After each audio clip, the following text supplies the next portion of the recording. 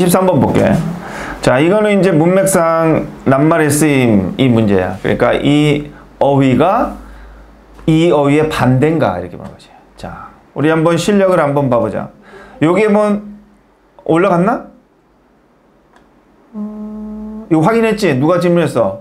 확인했지? 저 23회 21부터 24까지 싹 다 질문해가지고 있어. 이거 확인했냐고? 없, 없었다는데요? 아, 없는 게 당연하다. 왜 그렇게? 영상을 나누고. 이거를 했는지 안 했는지 나는 정확하게 알 수가 있어. 그 표시가 안 그렇지. 눈치에서 안 했는데 어느 새끼가 했다고 자꾸 뻥치는 거야. 너야? 누구야? 아무 표시가 없잖아. 그럼 안 했다는 뜻이야. 자, 그럼 갑니다. 어, 21에서 24까지 누가 몽탕 마주 게으른 새끼가 질문했는데 내가 두 개밖에 안 해줬지. 23, 24 안 했어. 결국은 또 질문이 또 들어와서 또 하네. 자, 우선은 이제 우린 지금 고등학교 과정을 하고 있는 거야. 왜 중학생인데 고등학생 과정을 하지? 저기 수학인데 고등학교 과정 들어간 사람 손 들어봐. 아, 실력이 안 되는 거야 아직도? 네. 네. 그래도 해야지. 아. 자, 자, 제가 고등학교 과정 들어갔잖아. 그럼 제가 단어를 제일 많이 맞추는 게 정상이야. 자, 그러면 다섯 개, 다섯 개를 아이고 어차피 수학 영어 똑같은 거야 뭐. 자, 다섯 개 단어 뜻을 적어 봅니다. 20초 안에 적어 봐. 자, 몇 개나 맞추나 봐 봐. 자, 우리도 영어의 고등학교 과정을 들어가는데 여기서 세 개 맞추면 들어가는 걸로 하자. 두 개는 고민하고 세 개 맞추면 들어가도 돼. 큐. 뜻을. 해요? 어, 뜻을 적어보라고. 세개 이상 맞춰보라고.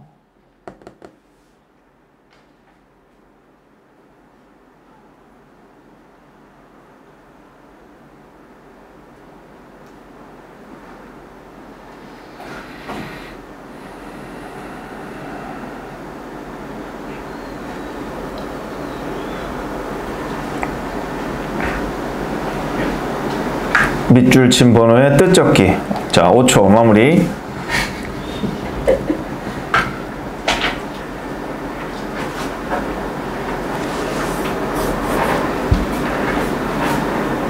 자, 컷. 자, 채점을 해봐. 이거는 친숙한, 익숙한, 친밀한. 친근한, 친밀한데요? 친밀한, 쉬운. 비슷한 거 다 맞는 거야. 어려운이라고 쓴 새끼만 틀려. 쉬운. 그 다음에 adjust는 조절하다, 조율, 조정, 적응 뭐 등등. 그 다음에 이거는 어, 존중하다, 존경하다 이런 뜻. 자, 이거는 다 틀렸겠지? 이거는 뭐 변천, 이전, 변경, 이동? 바뀜 뭐 이런 거야. 자, 다섯 개 다 맞은 사람 손. 네 개 맞은 사람 손. 세 개 맞은 사람 손. 두 개 맞은 사람 손. 어, 너희들 고등학교 과정을 들어갈까 말까 좀 고민을 할 수 있는 정도. 자, 보면 알겠지? 어. 자, 수학도 고등 들어가니까 이렇게 영어도 들어가는 게 비슷하단 말이야. 자, 그래서 뭐든지 빨리 할수록 좋긴 좋지. 자, 가보자. 자, 그러면 전체 내용을 보고, 아, 이런 내용이구나 봐서 이 단어의 뜻을 알고 이 단어가 이 뜻일까 반대말일까? 익숙할까? 아니면 새롭고 익숙하지 않을까? 쉬울까? 어려울까? 이렇게 반대말이 맞을까? 안 맞을까? 아는 거야. 뭘 보고? 앞에. 앞에 문장이나 뒤에 문장을 근거로. 소설 상상하지 말고. 자, 가보자. 이거 뭐, 무빙이 뭘까? 여기서 이사야? 움직이는 거야. 뭐 이사네. 이사는 어렵다 이랬어. 특히 스트레스를 받는다 애들한테. 더 좋은 데로 가면 이 그지? 그러니까 펜트하우스 가면 스트레스 안 받고 오히려 더 좋겠지만 어 막 그 비슷한 비슷한 데 가거나 뭐 좀 더 나은 데 가지 그지? 대신 학교도 바뀌고 친구도 잃어버리고 뭐 친구가 없는 애는 상관없는데 있는 애들은 좀 스트레스 받겠지 그지? 자, 이사는 스트레스다 이렇게 출발했고 그들은 뭘 잃어버려? 안정감을 잃어버려. 요거 disoriented 뭘까? 이걸 뭐라 그럴까? 이거 좀 뭐 이렇게 산만한 아 이거 이거 좀 뜻 안 나왔나? 우리말로 뭐라 그래? 뭐 이렇게 혼란스러워 이렇게 하자. 좀 오리엔트가 방향을 잡다 이런 말이거든. 그래서 좀 혼란도 느낀다 하는 거지. 왜냐하면 자기의 루틴, 일상적인 것이 disrupt, 혼란시키다. 혼란스럽게 되거든. 그리고 all을 꾸며주는 말이다. All that is familiar가 익숙한 대시 관계대명사야. 익숙한 모든 것이 없어지겠어? 생겨나겠어? 생겨. 이사 가면. 익숙한 모든 것이 없어지. 없어진다, 생겨난다. 없어지. 없어지겠지. 이게 없어지다야. 테이크어웨이가. 그럼 여기는 익숙한이 맞아? 안 익숙한이 맞아? 익숙한이 맞겠지. 자, 이렇게 생각하면서요. 자, 그 다음에 뭐 세네 살, 여섯 살이야. 얘네들은 뭐 특히 영향받는다 그랬고. 2단계에서의 이 세, 여섯 살, 세살 이런데 이해는 매우 어떻다? literal? 얘는 글자 그대로다. 그러니까 아주 수준이 떨어진다. 이게 글자 그대로다. 이런 뜻이야. 그리고 이제 쉽단데 어렵단가 보자. 걔네들이 imagine 상상하기가 쉬울까 어려울까인데 새로운 집과 새로운 방을 상상하는 게 얘네들한테는 쉽겠어? 어렵겠어?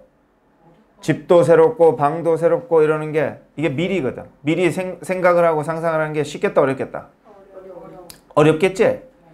그러면은 여기다 식탁 해놨네? 그럼 일단 틀릴 가능성이 좀 있어 그지? 자 뒤에 보자 이 어린 얘네들은 걱정이 있다 그랬어. 내가 미 내가 나일 수 있을까? 새로운 장소에서도 그리고 뭐야 이사 가면은 좀 뭔가 좀 불안한 거지. 그러니까 여기서도 뭐야 얘네들한테 이런 것들을 미리 생, 상상을 한다는 게 미리 상상하면 좋아 안 좋아? 좋은 거야. 왜 상상해서 적응하고 예측하고 기대하고 이렇게 좀 적응하면 되니까. 근데 이렇게 얘네들은 상상을 못 한다는 거야, 미리. 그래가지고 이제 쉽지가 않다. 이렇게 가야 되는 게 맞겠네. 장난감이나 이런 것들이 뭐 어쩌고저쩌고 이러고 또 중요하다 하였어. 뭐가 중요하대?